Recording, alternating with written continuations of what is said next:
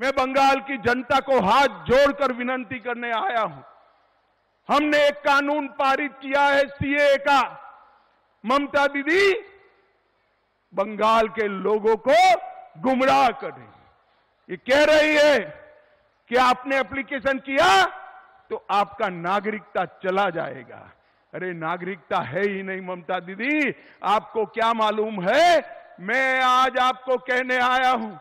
डरे बगैर जितने भी शरणार्थी आए हैं सीए में एप्लीकेशन करे, किसी पर कोई केस नहीं होने वाला है, कोई मुकदमा नहीं होने वाला है। ये मोदी सरकार का कानून है, इसमें कोई परिवर्तन नहीं कर सकता। और ममता दीदी, आपको जितना विरोध विरोध करना हो, करो।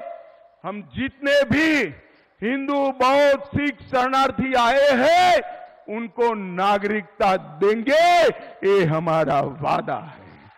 मैं ममता दीदी को पूछना चाहता हूँ, जो बंगाल से हिंदू सिख बौद्ध शरणार्थी आए हैं, उनको नागरिकता मिलती है, आपको क्या तकलीफ़ हो रही? एक और घुसपैठिए को, घुसपैठियों को लाल जाजम बिठाकर स्वागत करती हो, रोहिंग्या का स्वागत करती हो, और दूसरी ओर जो हिंदू बौद्ध, सिख, शरणार्थी आए हैं, उनको गुमराह कर रही हो।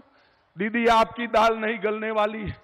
मोदी जी ने रूल्स नोटिफाई कर दिए हैं, बंगाल के सारे शरणार्थी भय मुक्त होकर अप्लाई करे।